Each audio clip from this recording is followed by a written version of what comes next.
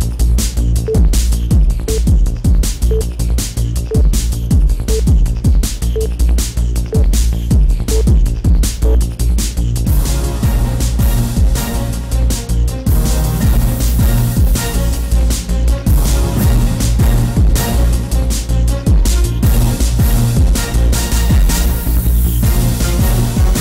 হাজার মেগাওয়াটের আরও তেষট্টিটি বিদ্যুৎ কেন্দ্র নির্মাণের কাজ চলছে। সহনীয় থাকবে উৎপাদন খরচ, বলছেন বিশ্লেষকরা।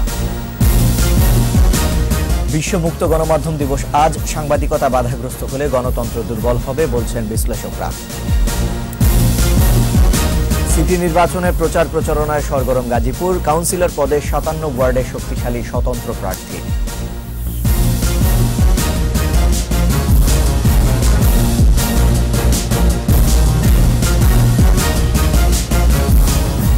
First Security Islami Bank Limited সংবাদ শিরোনাম। আমন্ত্রণ জানাচ্ছি সকাল নটার একুশের সংবাদে। আপনাদের সাথে আছি রিশান মাহমুদ। এছাড়াও সংবাদে আরও থাকছে। মুজাফরাবাদ গণহত্যা দিবস আজ একাত্তরের পাকিস্তানি সেনারা হত্যা করে সাড়ে তিনশো বাঙালিকে।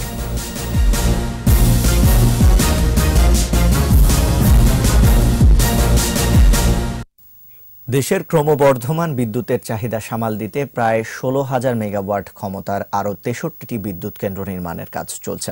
সরকারি বেসরকারি খাতে নির্মাণাধীন এসব কেন্দ্রের অগ্রগতি ভালো বলেই জানিয়েছে বিদ্যুৎ বিভাগ। জ্বালানি বিশ্লেষকরা বলছেন, গ্যাস ও কয়লা নির্ভর বিদ্যুৎ কেন্দ্রগুলো বাস্তবায়িত হলে উৎপাদন খরচও সহনীয় পর্যায়ে থাকবে। বিদ্যুৎ পরিস্থিতি নিয়ে শাহরিয়ার ইমনের দুই পর্বের ধারাবাহিকের আজ শেষ পর্ব। বর্তমান সরকার ক্ষমতায় আসার পর থেকেই ধারাবাহিকভাবে বাড়ছে বিদ্যুৎ উৎপাদন। দু হাজার চব্বিশ সালের মধ্যে দেশে আরও পনেরো হাজার নশো সাতষট্টি মেগাওয়াট বিদ্যুৎ উৎপাদনের পরিকল্পনা নেওয়া হয়েছে। এর মধ্যে সরকারিভাবে বিশটি কেন্দ্র থেকে আসবে সাত হাজার আটশো সাতান্ন মেগাওয়াট আর বেসরকারি খাতের তেতাল্লিশটি উৎপাদন কেন্দ্র থেকে আসবে আরও আট হাজার একশো দশ মেগাওয়াট। নতুন এসব কেন্দ্র উৎপাদনে আসলে বিদ্যুতের ক্রমবর্ধমান চাহিদা সামাল দেওয়া সহজ হবে বলেই আশা বিদ্যুৎ বিভাগের। ষোলো হাজার মেগাওয়াটের তেষট্টিটা বিদ্যুৎ কেন্দ্র নির্মাণাধীন রয়েছে। এবং আমরা আশা করতেছি এগুলো দুই হাজার একুশ সালের মধ্যে প্রায় বেশিরভাগ বিদ্যুৎ কেন্দ্রে চলে আসবে। দু চারটা বড় মেগা প্রকল্প ছাড়া। প্রতিনিয়ত নতুন কেন্দ্র উৎপাদনে আসায় ভবিষ্যতে বিদ্যুতের কোনো সমস্যা থাকবে না বলে জানান বিদ্যুৎ প্রতিমন্ত্রী। কারণ আমাদের নতুন প্ল্যান্টও এখানে যোগ হচ্ছে প্রতি মাসে। এই মাসে আরও তিনশো মেগাওয়াট যোগ হবে। জ্বালানি বিশেষজ্ঞরা বলছেন তেলের উপর নির্ভরতা কমানো গেলে উৎপাদন খরচও অনেকাংশেই কমানো সম্ভব। আমরাও বলছি যে সাশ্রয়ী বেজ লোড আনতে হবে। দেশের বিদ্যুৎ উৎপাদন সক্ষমতা বৃদ্ধির পাশাপাশি প্রয়োজনের অতিরিক্ত বিদ্যুৎ প্রতিবেশী দেশগুলোতে রপ্তানি করার বিষয়টিও ভেবে দেখা দরকার বলে মনে করছেন বিশেষজ্ঞরা। শাহরিয়ার ইমন, একুশে টেলিভিশন, ঢাকা। বিশ্ব মুক্ত গণমাধ্যম দিবস আজ। উনিশশো তিরানব্বই সালে জাতিসংঘের উইন্ডহুক ঘোষণাপত্র প্রণয়নের মধ্য দিয়ে দিবসটি পালন শুরু হয়। অ্যামনেস্টি ইন্টারন্যাশনালের পরিসংখ্যান অনুযায়ী গণমাধ্যম প্রতিষ্ঠানগুলোর মধ্যে ঘরোয়া সহিংসতা ও সেলফ সেন্সরশিপ বাড়ছে। আর গণমাধ্যম সংশ্লিষ্টরা বলছেন, সমালোচনা সহ্য করার মানসিকতা না থাকায় সাংবাদিকতা, স্বাধীন সাংবাদিকতা বাধাগ্রস্ত হচ্ছে। বিস্তারিত জানাচ্ছেন আকবর হোসেন সুমন। উনিশশো একানব্বই সালে নামিবিয়ার রাজধানী উইন্ডহুকে ইউনেস্কোর সেমিনারে সর্বসম্মতভাবে আফ্রিকা মহাদেশের সাংবাদিকরা ঘোষণা করেন মুক্ত গণমাধ্যম নীতিমালা। দুই বছর পর জাতিসংঘ ওই ঘোষণাপত্র গ্রহণ করে দিবস পালনের সিদ্ধান্ত নেয়। এরপর পঁচিশ বছরে প্রতিবারই পরিবর্তন হয়েছে প্রতিপাদ্য। এবার নির্ধারণ করা হয়েছে keeping power in check media justice and the rule of law গণতন্ত্রের প্রসারে স্বাধীন সাংবাদিকতাকেই প্রাধান্য দিয়েছেন বিশ্ব গণমাধ্যম কর্মীরা। গণমাধ্যম এমন একটি স্তম্ভ যা সমাজের প্রতিচ্ছবি এবং গণতন্ত্রের প্রকৃত রূপ প্রকাশ করে। সাধারণ মানুষের মনের কথা কীভাবে রাষ্ট্র শুনবে? এর একমাত্র উপায় গণমাধ্যম। সাংবাদিকতা কোনো অপরাধ গণমাধ্যম যেখানে দুর্বল সেখানে সমাজ ব্যবস্থা ও গণতন্ত্র দুর্বল। গণমানুষের এজেন্ডার গভীর থেকে মূল তথ্য বের করে আনাই সাংবাদিকতার লক্ষ্য হওয়া উচিত। এবার জাতিসংঘের আয়োজনে ঘানায় পালিত হচ্ছে মূল অনুষ্ঠান। এর মধ্য দিয়ে আফ্রিকার গণতন্ত্র ও রাজনীতি স্বচ্ছ হবে বলে মনে করেন দেশটির তথ্যমন্ত্রী। জাতিসংঘের মহাসচিব ভিডিও বার্তায় জানিয়েছেন, বিশ্ব শান্তি এবং ন্যায় বিচার প্রতিষ্ঠায় গণমাধ্যমের স্বাধীনতা প্রয়োজন। বিশ্বে সবার জন্য শান্তি, আইনের শাসন ও মানবাধিকার প্রতিষ্ঠায় গণমাধ্যমের স্বাধীনতা। রাষ্ট্রযন্ত্রের স্বচ্ছতা নিশ্চিত করা এবং সুশাসন প্রতিষ্ঠায় ভূমিকা রাখে গণমাধ্যম। গণমাধ্যম দুর্বল হলে সমাজ ও গণতন্ত্রের দুর্বলতা প্রকাশ পায় বলে মনে করেন ডেইলি স্টার সম্পাদক। সবকিছু মিলিয়ে পরিবেশটা আমি বলব যে স্বাধীন সাংবাদিকতার অনুকূল নয়। আমি সমালোচনা করছি। এটা আপনি কীভাবে নিচ্ছেন? আপনি যদি সম্পূর্ণটাকে সন্দেহের চোখে দেখেন ষড়যন্ত্রের চোখে দেখেন তাহলে তো আমি যত ভালোই কথা বলি না কেন আপনি তো সেটাকে সহজভাবে নেবেন না। সাংবাদিকদের বৈশ্বিক সংগঠন রিপোর্টার্স উইদাউট বর্ডারের মতে বিভিন্ন কারণে বিশ্বব্যাপী হুমকির মুখে পড়েছে সংবাদ মাধ্যমের স্বাধীনতা। আকবর হোসেন সুমন একুশে টেলিভিশন ঢাকা। এবার সিটি কর্পোরেশন নির্বাচন প্রসঙ্গ।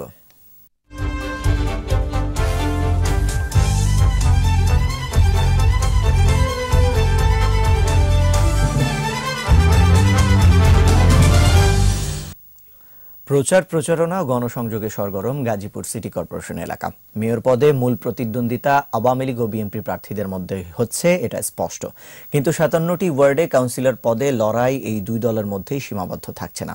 ভোটাররা বলছেন, রাজনৈতিক পরিচয়ের বাইরে জনপ্রিয়তার বদলতে স্বতন্ত্র প্রার্থীরাও নির্বাচনী বৈতরণী পার হতে পারবেন। আরও জানাচ্ছেন মোহাম্মদ নুরুন নবী। দুয়ারে নির্বাচন। চায়ের কাপে ঝড় তো উঠবেই। পাড়া মহল্লা সবখানে রাজনৈতিক কল্পনা জল্পনা গাজীপুর সিটি কর্পোরেশন এলাকায়।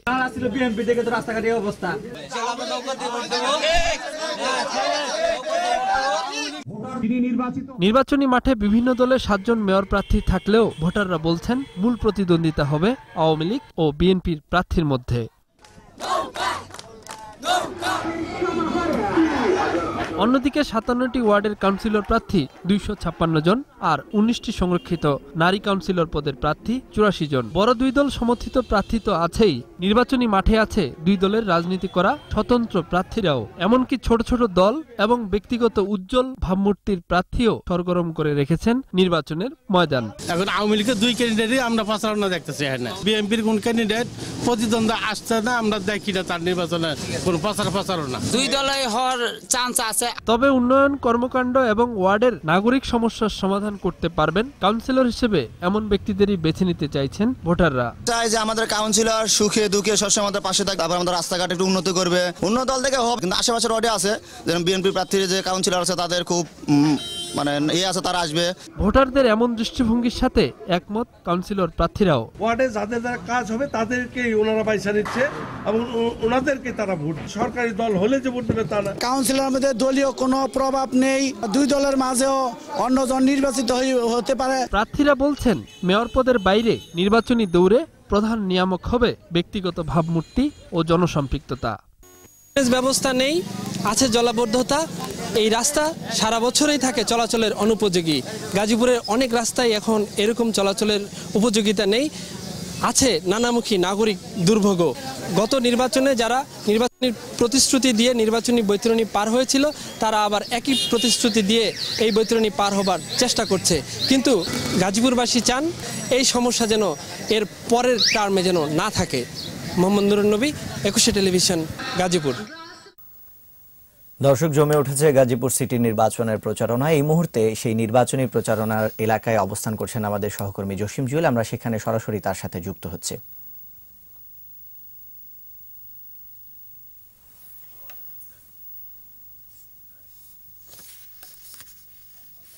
গাজীপুর সিটি নির্বাচন নিয়ে আসলে এখানে ভোটার কিংবা প্রার্থী সবার মাঝে কিন্তু এখন একটি উৎসবের আমেজ বয়ে যাচ্ছে।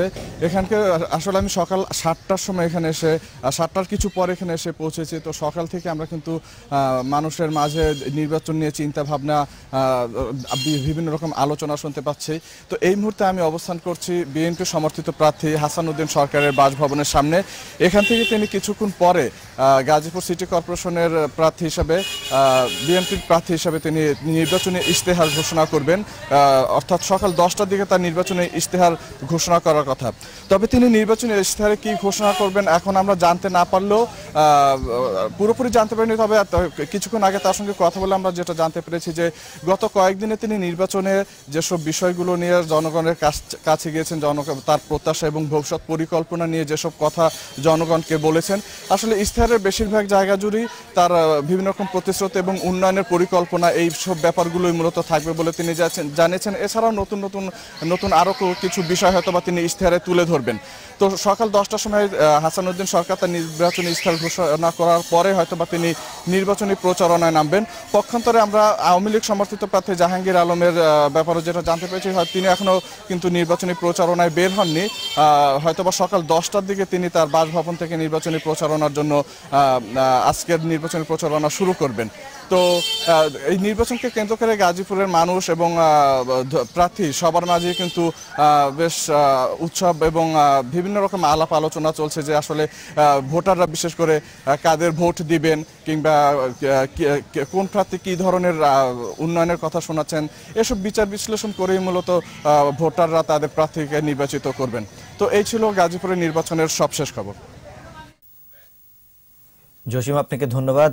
দর্শক, গাজীপুর সিটি নির্বাচনের প্রচার প্রচারণা নিয়ে আমাদের সাথে সরাসরি যুক্ত হয়েছিলেন আমাদের সহকর্মী গাজীপুর থেকে। দর্শক, এবার নিচ্ছি ইসলামী ব্যাংক বিরতি। যখন ফিরছি তখন অন্যান্য খবরের সঙ্গে আরও থাকবে। উখিয়ায় র্যাবের অভিযান, বিশ হাজার পিস ইয়াবা সহ তিন রোহিঙ্গা আটক। গাইবান্ধার বালুচরে সবজি চাষ, বদলে গেছে চরের মানুষের আর্থসামাজিক অবস্থা।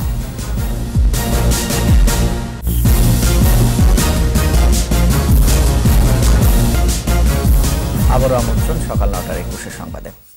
চট্টগ্রামে পটিয়া মুজাফরাবাদ গণহত্যা দিবস আসে। উনিশশো একাত্তর সালের এই দিনে এখানের অসংখ্য বাড়িঘরে অগ্নিসংযোগ, লুটপাটের পর পাকিস্তানি সৈন্যরা তাদের এদেশীয় দালালদের সহযোগিতায় সাড়ে তিনশো বাঙালিকে হত্যা করে। বর্বরিচিত এই গণহত্যার বিচার দাবি করেছেন মুক্তিযোদ্ধারা, সেই সাথে শহীদদের স্মৃতি সংরক্ষণেরও দাবি জানিয়েছেন তারা। চট্টগ্রাম অফিসের রিপোর্ট জানাচ্ছেন সমর ইসলাম। উনিশশো একাত্তর সালের তিন মে দিনটি ছিল সোমবার। রাতভর গ্রাম পাহারা দেওয়ার পর ভোরে বিশ্রামে যায় মুক্তিযোদ্ধারা। সংখ্যালঘু অধ্যুষিত পটিয়ার মুজাফরাবাদ এলাকায় হঠাৎ ভোরে হানা দেয় পাকিস্তানি সৈন্যরা। এদেশীয় দালালদের সহযোগিতায় পুরো এলাকা ঘিরে ফেলে তারা। এরপর চালায় বর্বর নির্যাতন। অগ্নিসংযোগ, লুটপাট কোনো কিছুই বাদ রাখেনি তারা। দিনভর নির্যাতনের পর গ্রামের নারী পুরুষদের ধরে নিয়ে নির্বিচারে গুলি চালিয়ে হত্যা করা হয়। আমরা ভোরবেলা একটু শুতে গেছি কেউ ঘুমাইছি কেউ একটু গরু ছাগল নিয়ে বাইরে গেছে। ইন দি মিন তখন আমাদের গ্রামটা আক্রমণ করা হলো। শিশু থেকে শুরু করে বৃদ্ধ মা মেয়ে কেউ রেহাই পায়নি হানাদার বাহিনীর হাত থেকে। সেই স্মৃতি স্মরণ করে নির্মম এই হত্যাকাণ্ডের বিচারের দাবি জানিয়েছেন সে সময় প্রাণে বেঁচে যাওয়া ব্যক্তিরা। আমরা এই জায়গাটা বর্তমান যেটা চিহ্নিত করেছে বৌদ্ধভূমি এখানে সমাহিত করলাম। একশো চব্বিশ জনকে। সে হত্যা করার আজকে দীর্ঘ এতদিন পর আমরা এখনও যে স্মৃতিস্তম্ভটা করতে পারি নাই এটাই আমাদের বড় লজ্জার। মুক্তিযুদ্ধের স্মৃতি নতুন প্রজন্মের কাছে তুলে ধরতে কমপ্লেক্স তৈরির দাবি স্থানীয়দের। মুজফরাবাদ গ্রামে এখানে এদের স্মৃতি রক্ষাতে বিভিন্ন বড় বড় প্রজেক্ট আমরা সরকারের কাছে আশা করি। মুক্তিযুদ্ধের গৌরব গাথা ধরে রাখতে বদ্ধ ভূমি সংরক্ষণে উদ্যোগ নেওয়ার কথা জানালেন চট্টগ্রাম জেলা পরিষদের চেয়ারম্যান। ইতিহাসের যে যে পাতা থেকে যেই সম্মুখ সমর বা গেরিলা যুদ্ধের যে স্থানগুলি আছে সেগুলি আমরা চিহ্নিত করে সেখানে আমরা কাজ করছি। পাকিস্তানি ঘাতকদের সাহায্যকারী এদেশীয় দোসরদেরও বিচারের দাবি জানিয়েছে মুজাফরাবাদবাসী সমর ইসলাম একুশে টেলিভিশন। কক্সবাজারের রুখিয়ায় বিশ হাজার পিস ইয়াবা সহ তিন রোহিঙ্গাকে আটক করেছে র্যাব। র্যাব জানায়, ইয়াবা বিক্রি করার খবর পেয়ে গতকাল উখিয়ার বালুখালী রোহিঙ্গা ক্যাম্প সংলগ্ন পানবাজার এলাকায় অভিযান চালান তারা।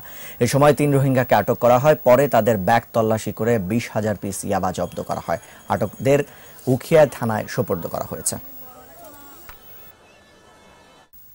এবার আমাদের সাপ্তাহিক আয়োজন, সোশ্যাল ইসলামী ব্যাংক লিমিটেড কৃষি সংবাদ।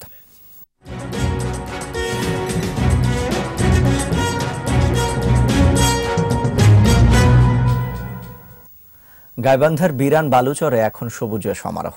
নিজেদের মেধার শ্রম দিয়ে চরাঞ্চলের মানুষ পাল্টে দিয়েছে চরের চিত্র। এখন ধানসহ সব ধরনের মৌসুমি সবজির চাষ হয় এখানে। নতুন পদ্ধতি চাষাবাদ, আর্থসামাজিক অবস্থার পরিবর্তন করেছে চরের মানুষের। গাইবান্ধা প্রতিনিধি আফরোজান লুলান রিপোর্ট জানাচ্ছেন শতরূপা দত্ত। গাইবান্ধা সদর ও সুন্দরগঞ্জের এসব চরাঞ্চল একসময় ছিল বিরানভূমি। উৎপাদন হতো শুধু চীনাবাদাম ও কাউন। বর্তমানে এসব চরের আঠারো হাজার হেক্টর জমিতে বিভিন্ন ধরনের ফসল আবাদ হচ্ছে। মাচানে ঝুলছে লাউ, কোথাও ফলেছে মিষ্টি কুমড়া। এছাড়া ধান, বাদাম, মরিচ, পেঁয়াজ, বিভিন্ন রকম শাক, গম ও ভুট্টা সহ নানা ধরনের মৌসুমি শাকসবজি চাষ করছেন চরাঞ্চলের কৃষক। বর্ষা মৌসুমের তিন মাস ছাড়া বাকি নয় মাসে বিভিন্ন ফসল হচ্ছে চরের জমিতে। চরের মধ্যে তো এই তো পেঁয়াজ লাগাছি, মরিচ লাগাছি আলু লাগাছি এই পাট শাক লাগাছি এই বেগুন লাগাছি আমি ইরি ধান তিন বিঘা লাগাছি ভুট্টে মনে করেন যে তিরিশ শতক জমি লাগাছি শাক সবজি হয় লাউ সিম এই সমস্ত আমরা বেশ নিজেরাই আবাদ করি। বাদাম মনে করো এক বিঘা জমি বুনলে মনে করো তিন হাজার সাড়ে তিন হাজার টাকা খরচ হয়। পাঁচ হাজার সাড়ে পাঁচ হাজার ছয় হাজার টাকা বিক্রি হয়। এসব ফসল চরাঞ্চলের মানুষের আর্থসামাজিক অবস্থার পরিবর্তন ঘটাচ্ছে বলে জানালেন কৃষি কর্মকর্তা। চারিদিকে ভুট্টা মরিচ চীনাবাদাম মিষ্টি কুমড়া এবং আরও কিছু মশলা ফসল বিশেষ করে পেঁয়াজেরও কিন্তু এখানে আবাদ শুরু হচ্ছে। গাইবান্ধায় তিস্তা যমুনা ও ব্রহ্মপুত্র নদী বেষ্টিত চরাঞ্চল রয়েছে একশো আশিটি। শতরূপা দত্ত একুশে টেলিভিশন। দর্শক আবারও নিচ্ছি ইসলামী ব্যাংক বিরতি। যখন ফিরছি তখন অন্যান্য খবরের সঙ্গে আরও থাকবে। বন্ধ হয়ে গেল ফেসবুক ডাটা কেলেঙ্কারির আলোচিত ক্যামব্রিজ অ্যানালিটিকা এগারো বছর পর চ্যাম্পিয়ন্স লিগের ফাইনালে লিভারপুল চার দুই গোলে জিতেও রোমার স্বপ্নভঙ্গ। এরই সাথে শেষ করছি সকাল নটার একুশে সংবাদ। যাবার আগে First Security Islami Bank Limited সংবাদ শিরোনামগুলো আরও একবার। ষোলো হাজার মেগাওয়াটের আরও তেষট্টিটি বিদ্যুৎ কেন্দ্র নির্মাণের কাজ চলছে। সহনীয় থাকবে উৎপাদন খরচ, বলছেন বিশেষজ্ঞরা। বিশ্ব মুক্ত গণমাধ্যম দিবস আজ। সাংবাদিকতা বাধাগ্রস্ত হলে দুর্বল হবে গণতন্ত্র, বলছেন বিশেষজ্ঞরা। সিটি নির্বাচনের প্রচার প্রচারণায় সরগরম গাজীপুর, কাউন্সিলর পদে সাতান্ন ওয়ার্ডে শক্তিশালী স্বতন্ত্র প্রার্থী।